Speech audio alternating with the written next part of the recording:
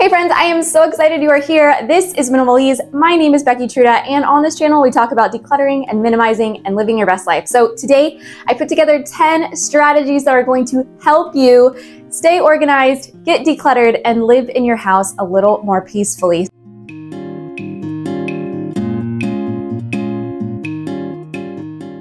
So let's go over number one.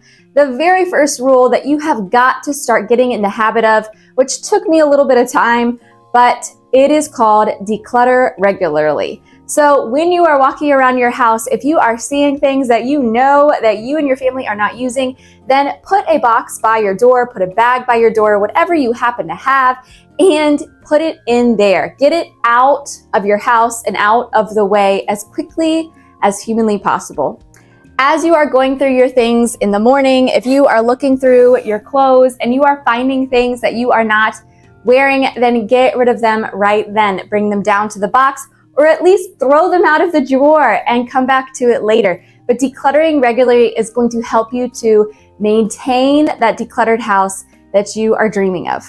But number two is to design specific places to put your things you, that you want to keep making sure that the things that you want to keep are very specific to that area. So I'll give you an example. In my bathroom, I have a basket that has hair and band-aids. And in this basket, I have another basket that holds our hair things. This is helping me make sure that I am staying in a manageable amount.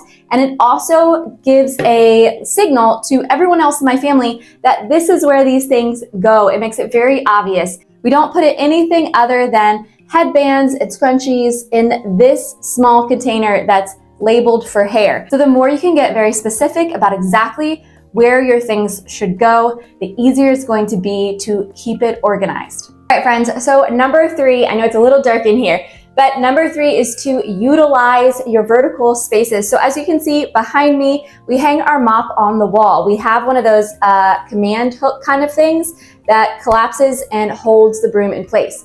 That way, I don't have to have it just laying on the ground because everything that you can get off the surface of the ground is going to help your rooms and your space just look more organized and more put together. So finding vertical spaces like shelves, or if you can find some really good storage solutions like these command strips, which I'll link below, will really help get things off of the floor, which always makes things look a little bit better and it will help you use that up space, that vertical space that is just completely wasted in most houses.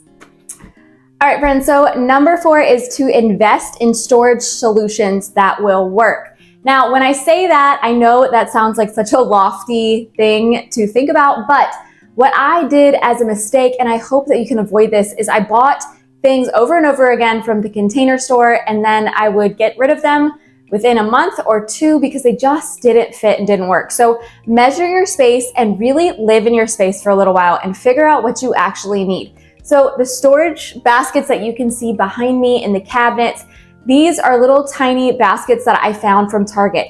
If you've watched any of my other videos, you know that I do not have a pantry. This is a 1960s home. It's never had a pantry built, though I would actually really love one.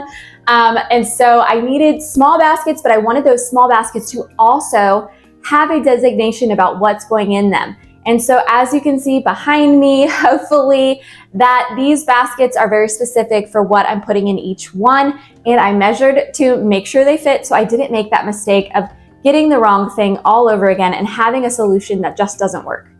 All right, friends, and that kind of goes with number five. Number five is to invest in a system that's going to work. So you want to use things like my favorite tool for organizing, which is a label maker. I'm going to show you the baskets that are in our cabinets behind me. And these baskets all have a label on them on what I'm expecting to put in each basket. It makes putting food away when you are ready much easier. Also, I just showed you the baskets in my bathroom and in my bathroom, they are labeled hair and band-aids, medicine, things like that. So I know exactly what is supposed to go in each. It really helps me put things away faster and helps my brain not to wander off and think about putting them somewhere else. And it just helps my whole family know where everything is and where it should go so that we can all kind of work together to put our things away. I'm gonna link my label maker below because I've had it for a couple years now and it has been a rock star. I've already bought a few of the replacement tapes and it just keeps working forever. And now I don't label absolutely everything, it's just not necessary, but really find those areas that you find yourself or your family not putting your things back in the right place. Putting a label on something is an amazing way to remind yourself and remind your family where things go. And I have found that when I do label things, I get a lot less questions, which if you're a mom or a wife, we all know we get a lot of questions about where things are and putting a label on them has really helped to cut that down a lot. All right, friends, so number six is one of the most important, and that is to maintain a cleaning routine. So I've talked about before that I vacuum my house every day. Now, we got a Roomba kind of thing that cleans our main floor, which I'll link below if you're interested. It's like an off brand one, but it's worked very well. But also, just maintaining your house is going to mean vacuuming up those little places, picking up the things that are left out that are not supposed to go where they go. Something that really held me back is that I often am the kind of person that I will walk by things over and over and over again until finally I'm like, okay, it really bothers me, I'll put it away. So if that's you, then use the minute or less, 30 seconds or less rule, which basically just says that if it's gonna take you less than 30 seconds to put it away, then just do it. Because if you're anything like me, it's not like you just forget about it. You know that those things are sitting on the staircase but you just don't feel like putting them away. Well, the second you actually do, it's one less thing on your checklist that's going around in your brain over and over again. So maintaining some kind of cleaning routine, it doesn't need to be where you print off a beautiful calendar off Pinterest, though I've tried this before. They usually don't work for me, but it's just a little bit of cleaning every single day. All right, friends, so number seven is to create closets that are functional. And this is something that did take us a couple of years to get to. It wasn't top priority, but it has helped so incredibly much. Once I decided that I didn't want to have a dresser in our room anymore, I really wanted to create a closet that made a lot of sense for us. And while the whole kits that you can get on Home Depot or Lowe's are great, and I'm sure they work well for a lot of people, we had kind of an odd closet and we really wanted exactly what we thought was going to work for us. So my husband bought these rods on Amazon. All right, friends, so number seven in the 10 ways to really organize and declutter your house and keep it that way is to optimize your closet space. So the closet behind me is something my husband and I redid ourselves. We ended up just painting it a light color. We put in some poles behind uh, me and on my husband's side, he has two as well, that we can hang up our clothes on. We also created these little shelves. And I will say, if you go to Home Depot or Lowe's, they are so helpful in cutting the wood. Usually, we've always had a good experience. And then the brackets are actually just from Amazon, which I can link those to below if you're interested in making some shelving yourself but creating a closet that really makes sense for your needs. I really wanted our clothes to be separated. I wanted to easily be able to see what I have without having to go through my husband's clothes as well. When we had one really long bar in here, our clothes would just shuffle back and forth and it just never looked very appealing. And so over time, we really figured out what we wanted. We wanted a place to hang my husband's ties and my necklaces. We wanted enough shelving so that we could have some folded clothes and baskets on them too. So really thinking about exactly what your needs are, doing some measurements before you go and buy anything will help you keep your space a lot more organized.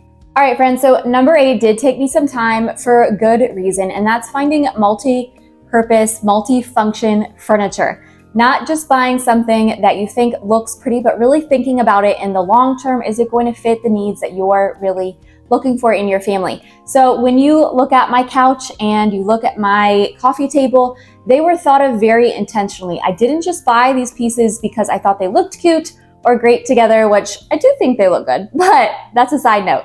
It's because I knew they were higher up and they were light. These are two key things in my life that I always found were very difficult to deal with with my old oversized uh, coffee table that was very difficult to lift and clean under, and the old couch I had, which was a sectional, and it was too low to the ground that you could vacuum underneath it. So you'd have to move the whole thing or just forget about it and just try not to think about the stuff that were under the couch.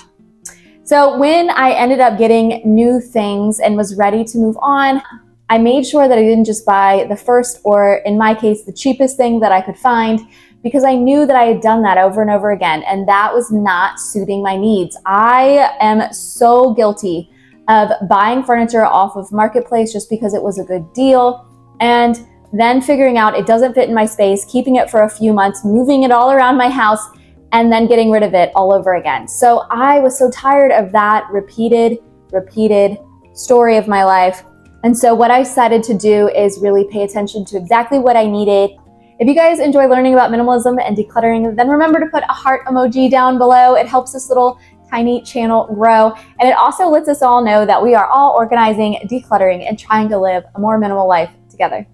All right, friends, so you are getting the baskets and you are hanging up the hooks and putting the shelves where they need to go. What I want you to do now is I want you to look around your house at all of the paper and photo clutter that you have, and I want you to start working on digitalizing it. I want you to start putting it on your computer or on your phone, taking pictures of it, and then getting rid of it. If you are anything like me, or I feel like most of us, we hang on to things, they're sentimental or they're great photos from when we were younger, and you feel like back in my day, they didn't have your phone all the time. So these photos are precious. But the problem is when we have boxes and boxes of these old photos that we go through maybe once a year and they're just sitting around for maybe one day in the future somebody else wants to see them. But what I want you to do is I want you to put it on your phone, I want you to put it on your computer, I want you to create a file where you can store those things so that you can go back and look at them and enjoy those old pictures but also that you don't have to hang on to all these boxes and boxes of old photos. Another good idea is that if you really wanted something that was tangible, that you can take all those photos and you can make photo books on Shutterfly. I think they make them. Um, my mother-in-law does them all the time. And the nice thing is that you can put them out. My daughter loves to look through these books and I don't have to have all these random photos just everywhere stored all around my house or in a huge box. I can have one little book with just our very favorite photos. Something else I've talked about, which is a great gift for anyone, is also one of those uh, photo frames that you can put your photos onto. You can share photos with other people, and you can also digitalize your photos and even your letters and put them on there. And so you can just see them but not have to have them physically with you all of the time. So that's just an idea and that's gonna help clear up a lot of that paper clutter. All right guys, so I'm so glad you made it. This is one of my favorite. Number 10 is just to review your spaces. There are so many times where I just sat there with things that were obviously not working, storage solutions that I had tried, and I knew I spent a lot of money on them. They just weren't the right size I needed or they weren't functioning in the way I thought they would review those spaces and really pay attention to what is going wrong. Maybe the baskets are too small, maybe the hooks are too high. Think about what is going on and really pay attention for a little while and see if you can figure out what the problem is. Once you figure out what the problem is, really do your research, measure things out, and find the right solution. Lower the hooks, buy some extra ones, label things if they're being misplaced, and figure out ways that your family can work a little bit smarter, not harder. If you've enjoyed learning about minimalism and decluttering and organizing your beautiful life, then remember to hit subscribe and I will see you guys soon.